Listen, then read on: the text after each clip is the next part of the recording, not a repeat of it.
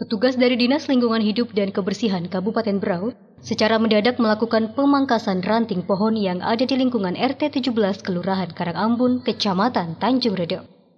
Pemangkasan ini dilakukan bukan tanpa sebab. Pasalnya, belasan ranting pohon tersebut sudah terlalu menjorok ke arah jalan yang berakibat mengganggu kenyamanan-kenyamanan pengguna jalan maupun kabel listrik dan telepon.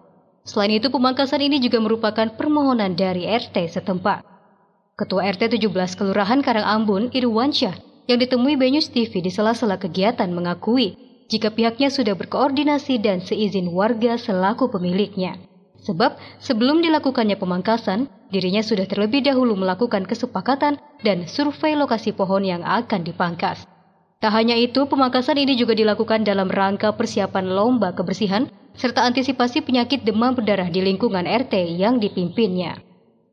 Ia juga berharap selanjutnya warga RT 17 yang mempunyai ranting pohon yang menjorok ke jalan memiliki kesadaran diri dan secara mandiri dapat melakukan pemangkasan tanpa harus menggunakan pelayanan dari petugas Dinas Lingkungan Hidup dan Kebersihan Kabupaten Berau.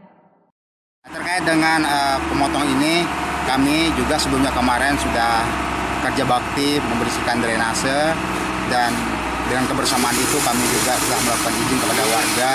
Kami sampaikan bagi warga yang uh, mempunyai tanaman yang menjorok ke jalanan, kami mohon sekali untuk bisa di, dipotong, ya, bisa dipotong supaya tidak mengganggu uh, warga yang berlalu lintas. Dan ke depannya sebenarnya kami juga mengharap uh, warga dengan kesadarannya sendiri tidak menunggu dari mungkin dinas dari uh, terkait untuk memotong. Miko Gustinanda, Benyus TV, melaporkan.